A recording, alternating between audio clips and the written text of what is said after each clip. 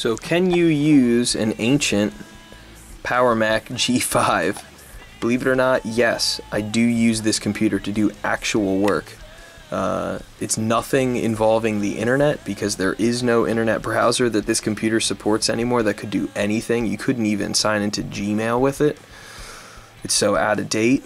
And there's not a way to really Hackintosh it. Like I've got an older Mac Pro 1.1 at home that I hacked to to run Yosemite, and I'm going to get El, El Capitan up on it eventually. The problem is this computer is Power PC. It's not Intel, so there's like a, a you cannot go beyond a certain point with them, uh, which really you couldn't go beyond that point since about 2006. um, so I use this computer, believe it or not, to record all of our stuff. I bought it for fifty dollars, literally. Uh, I maxed out the RAM for like a hundred bucks. I actually recently put an SSD in just to help give it a little bit more life and speed. So what I use it for just sits here, obviously.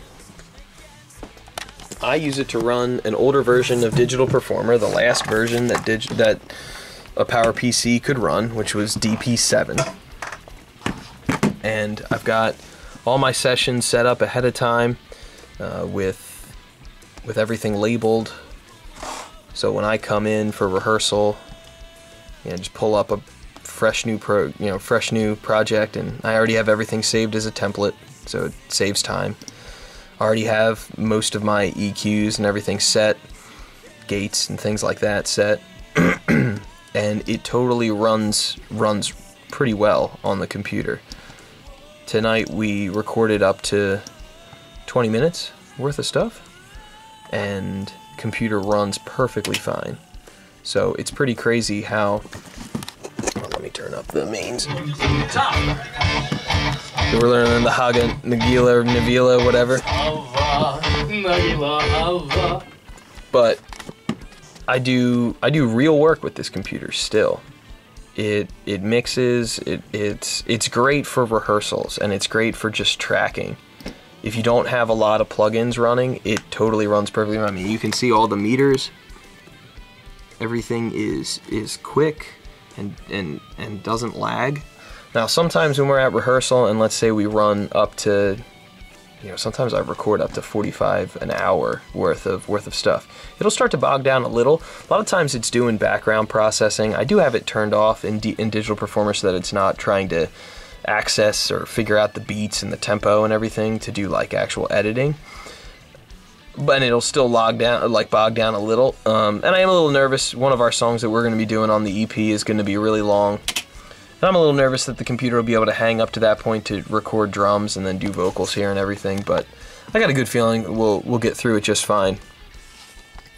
Which is fantastic. So when we track, obviously drums are here, everything's here, and all of our pre's and all that kind of good stuff. I've also got bins full of all of our mics down here in there because this place gets mice and bugs and all sorts of stuff. So trying to protect our mics.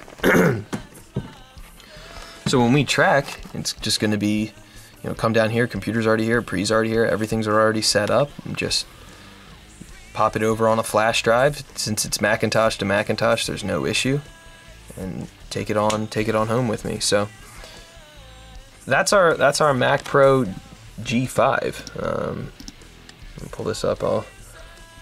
Doesn't even show the serial number. So there it is. Dual dual 2.7 PowerPC G5 with 8 gigs DDR RAM. And uh, like I said, I put a SSD in it. And the SSD made a made a nice a nice bump. I discovered how much the SSD makes a difference in the Mac Pro. I put an OWC one in it. I didn't want to put that kind of like to buy an OWC one. They're kind of expensive, so I just picked up, you know, I think it was fifty dollar for the Samsung one. It was the cheapest one I could find online, and I, I had to buy like a bracket or whatever to make it to make it work, but it, I think all in it was like seventy five dollars to put an SSD in, and it makes a big difference to to the speed opening and closing different different programs. Like if I launch Digital Performer, just launched it.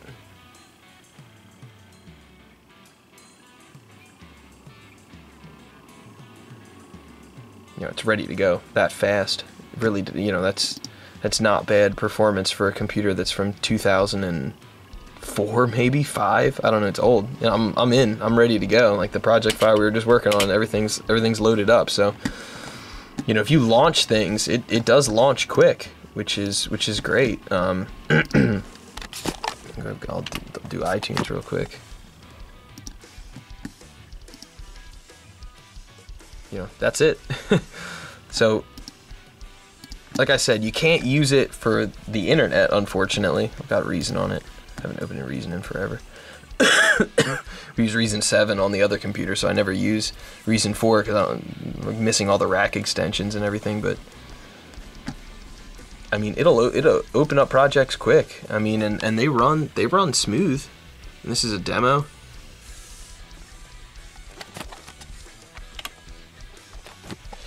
Got it set up with a with the, a backup drive in there, and I actually use the backup as backup and just our bulk storage in general. So uh, because the SSD is so small, it'll all fit on fit on there with with no problem.